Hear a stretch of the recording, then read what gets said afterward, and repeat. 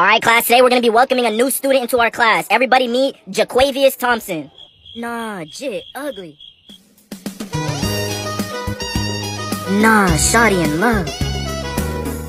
Hey, uh, guys, cut it out. Nah, the teacher jealous. Um, you told us to welcome the new student. I'm gonna make him feel real welcome, alright? Uh, no, you won't. But you told us to. Uh, yeah, you kinda did. Jamal, get out. Nah, jit, tripping. Lashonda, you are not to talk, look at, or even breathe the same air as the new student. You understand? Nah. Whatever.